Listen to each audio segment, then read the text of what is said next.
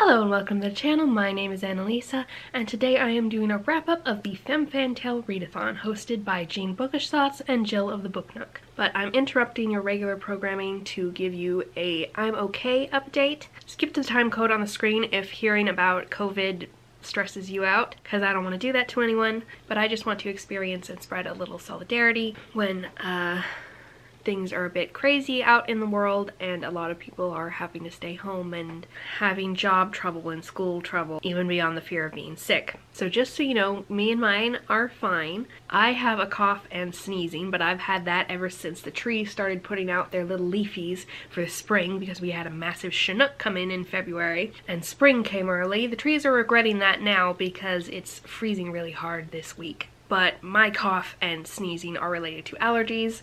I don't have a fever or sore throat. My dad is retired and my mom is a healthcare worker, so we aren't affected monetarily. And even if most of us get infected, we're not in danger. But I do have a brother who's immunocompromised, so I'm a little worried about him.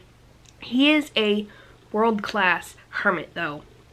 The only place he's to get infected is when he goes to a drive-through inevitably because he does love his fast food. And he doesn't live with us so we're not in danger of bringing things home to him, but we are still self-isolating just to keep from infecting and spreading germs to other people. I'm concerned for all the people out there who might be affected if they do get sick and also for all the people who are being affected other ways like people who work in sit-down restaurants and several other industries as well as all the people whose kids are now at home because the schools have been closed. I am concerned about. I'm praying for them because that's a thing that I do but that doesn't mean that if I see a way to help out in other ways I'm not going to do it. but if you are in a situation that you are being especially negatively affected by this, know that I care about you and if there is any way that I can help I hope you will tell me about it. Anyway, about books, I read this many, kind of, in that uh, I DNF'd one of them and I read two-thirds of another because it's a collection of three short stories. They're kind of in the middle where they're kind of the length of a novelette, but nobody calls anything a novel novelette. It's a, it's it's like it's a short story if it's a novella, a novella. But I'm counting it for the novella prompt for FemmeFanTale. But that's the last book I read, so I'll tell you about that at the end of the video.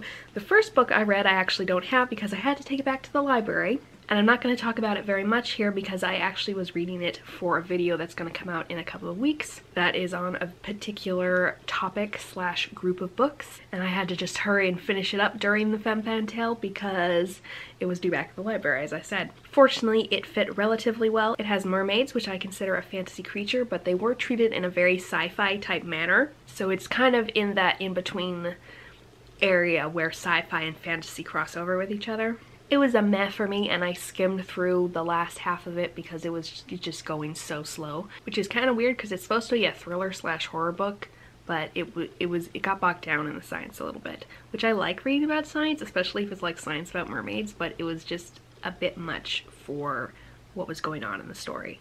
But I'll tell you more about that later. The second book that I read during FemmeFanTale was Pandora Gets Jealous by Carolyn Hennesy. This is the beginning of a series of about seven or eight books that is a retelling of the Pandora myth. In this case, Pandora is a 13-year-old girl who accidentally opens the box because she decides to bring it to school for a show and tell type project. And this and the rest of the books are about her tracking down all of the evils that she has let out into the world through this box and putting them back inside, which is not how the original tale goes, but I really like this twist on it, especially because the original Pandora story is really terrible and is just a dude really hating on women. So I like that a woman reclaimed this story and made a fun middle grade tale out of it. This checks off the inspired by myth prompt and kind of the historical fantasy prompt because it sounds like the author did a pretty good job of researching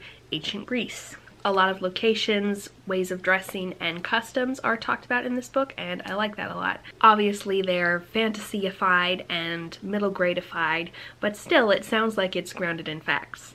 I also like how the myth is very, very much present because we get to meet pretty much all of the Greek gods, both on Olympus and as kind of more classic encounters and using gifts given by the gods, like magical rope and magical nets. It's also very female-centric as Pandora has two best friends who are also 13-year-old girls, and they are her sidekicks for this adventure. Then I started the one I was actually the most excited to read, which is Alanna, The First Adventure by Tamora Pierce. I hate this cover. It's not like that horrible of a cover, but like compared to the really good covers that this series has had, because it has been recovered so many times, this is just the most boring one. Also, it's supposed to be about her when she's 10 to 13, so does she look 13 at the oldest to you? I don't think so. But anyway, I thought this was more YA when I was remembering it because I haven't read it for like four or five years. But no, it's pretty dang middle grade, which suits the age of the protagonist. Uh, apparently this is one of those ones that ages with the protagonist because I definitely remember that the next book is YA and the next ones and the two after that that are when she's 18 to like 20 something are kind of between YA and adult and I really enjoy that type of aging, but I don't remember noticing the big age difference between this first book and the later books about the same character when I first read it when I was like 10, but I probably just wasn't as sensitive to those differences back then.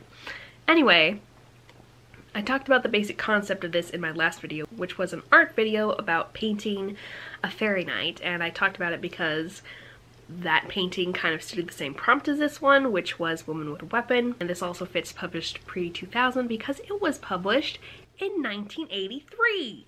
I did not realize these were that old. Although it does make sense because she keeps writing and this was the first book set in this world and she's written a bajillion books set in this world since then. Uh, but still, I did not realize this was 14 years older than me. Which is why the original covers were so good because fantasy covers from the 80s were dang good. But basically, it is about a 10-year-old girl who has a brother who is her twin and so she switch places with him so he can go to mad school and she can become a knight. She has to hide the fact that she's female to be able to learn to be a knight, and we have the added complication that she is also a mage. And people at the palace like to ignore magic and kind of push it to the side because they've been somewhat traumatized by it in the past, and so has she. In her personal life, because her mother was unable to be saved by magic when she died when they were fairly young. I don't think it was in childbirth. I think it was a while after that. She has to learn how to manage all these different things going on and her magic coming into being a big deal in her life because she is actually a very powerful mage, though untrained. And she has some pretty interesting episodic mainly adventures, as well as the overarching storyline that takes her from a vision when she is 10 years old before she sets out to the final confrontation in this black city. She's really cool and imperfect and I identify with her a lot because she's super stubborn. I'm really glad I finally read this again. She is my hero. Several of the other characters from this book are also my heroes, such as Myles, who is her history professor, and George, who is a thief she meets in town and it turns out he's the king of thieves and he's really awesome even though he's only 17 and he's generally adorable. Next, I started the fifth season by N.K. Jemisin. This is one of the biggest most acclaimed fantasy works by a woman of color from the research that I've done. Won a bunch of awards, uh, bestseller, and I was looking for something to read that would complete the BAME author prompt, which is uh, B-A-M-E.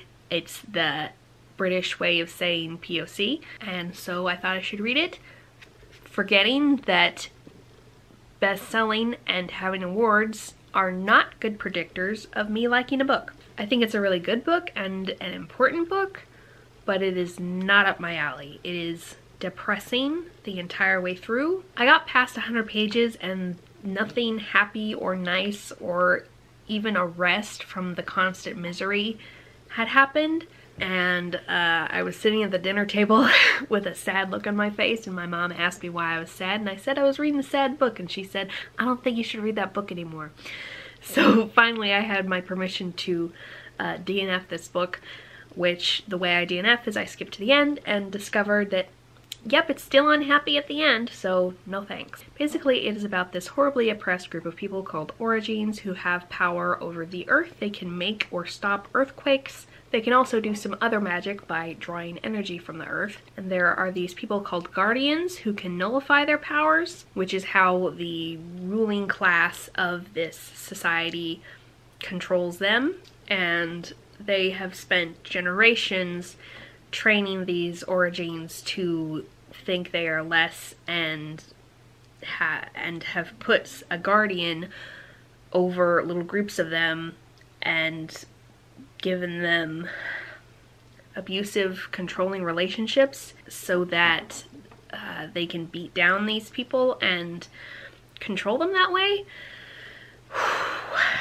is very heavy. There is also breeding going on, human breeding, which is a thing that also happened during slavery, which I suspect this is um, related to.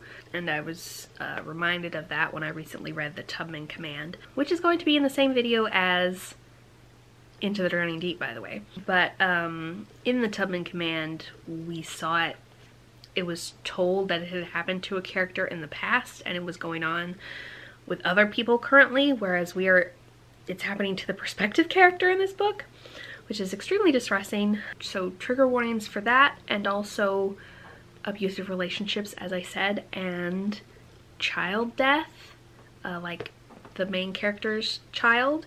Generally, horrendous racism and oppression and uh, probably lots of other things that happened in between the 300 and some pages that I skipped. The whole series of which I think it's a trilogy is called the Broken Earth series and so the the point of it and what the kind of overarching thing that's going on is one of these orogenes have decided to destroy the world and like break it via gigantic earthquakes a la Kyoshi when she separates her little island from the mainland except the big chasm goes around the entire world and uh, big volcanic ash comes out and kills everybody. Not a spoiler, that happens at the very beginning of the book, but it's a flash forward. And then we see in other timelines what has led up to this and why someone would be driven to destroy the world even though they're still living on it, basically by all this horrible oppression, which makes sense and good way of writing a story, but very distressing for an over empath such as myself but I'm still counting it as read because I read a significant portion. But anyway, while I was trying to read that, I read A Curse So Dark and Lonely because I was slowing down really bad and I wanted to finish a few more books before the readathon was over. I love the cover, especially how blue it is, like it's quite vibrant. And I really liked some of the characters. The three main characters are pretty great. I like a few of the extra side characters. My absolute favorite character was definitely Grey, and it wasn't in any way a bad book, it just didn't wow me. Like, it doesn't break my top five Beauty and the Beast retellings. I love Beauty and the Beast retellings, and this just didn't do it for me. I decided it was probably because there's no library slash books involved, and all my favorites involve the people bonding over books, sometimes over library, sometimes because she's a scribe and he's having her translate things for him uh, sometimes because she's sad and he gives her books to make her feel better, you know, all those types of things that really get my heartstrings pulled. This one didn't have that element. It had, it went in a different direction with the retelling and also the Beast character didn't have the classic hard on the outside, gushy on the inside character. He was a bit more like Rysand from the ACOMAF and while I like Rysand a lot, the traumatized, charming pretty boy is just a different personality and it's not what I want in a Beauty and Beast retelling. Grey was much more of a classic Beast character type personality, hence him being my favorite character. I thought the cerebral palsy uh, representation was cool. It was just an aspect that was going on. It wasn't her main personality trait. And I like the extra world building that went outside of the classic tale and built a kingdom and had the prince able to interact with his kingdom to a certain extent. So not bad, but just meh. I forgot to say this fit the fairy tale retelling prompt and the YA prompt. Then I wanted to read a happy book, so I picked this up, A Little Magic by Nora Roberts, because Nora Roberts does happy books really good. They often have sad elements in them, but that's always a minor thing compared to all the nice happy feelings. This was a bit different from what I usually read from her. So this is a group of three novellas, fitting that prompt as well as the adult prompt, which the fifth season also fit. So these are all romances that take place in Ireland and are witchy. In the first story, the main female character is a witch. In the second story, the hero's great grandmother was a witch and her magic has been passed down to interfere with his romances. And I'm not sure about the last one because I only read the first two. Didn't quite have time to start the last one, but I really enjoyed the first two. They are more insta-love-ish than my preferences, but that's kind of how it has to work if you're gonna have a romance in a novella because you can't really slow burn something in 100 pages.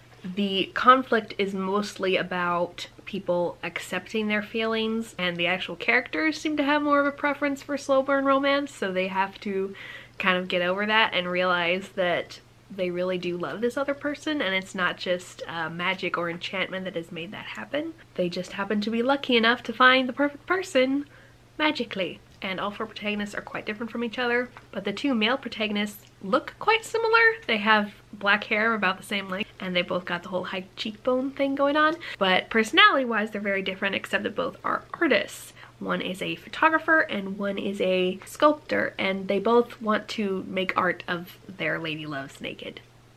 Okay, so a bit weird and unusual for me, but I like the magic portion and the Irish portion. I'm very into Ireland and it was just the happy pick-me-up that I needed after A Curse So Dark and Lonely and the fifth season. I started an audiobook, The Girl Who Drank the Moon, but I wasn't able to finish it because it's only an eight-day readathon. But I had several audiobooks slated to come in, but they didn't come in until really late in the readathon and then they also didn't fit any of the prompts that I didn't already have checked off.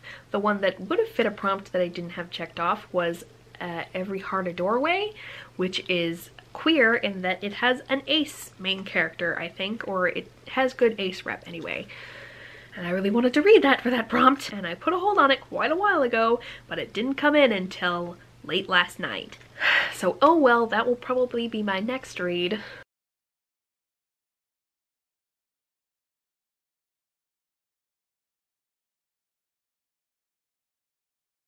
So thank you so much for watching and I'll see you in the next video. Bye!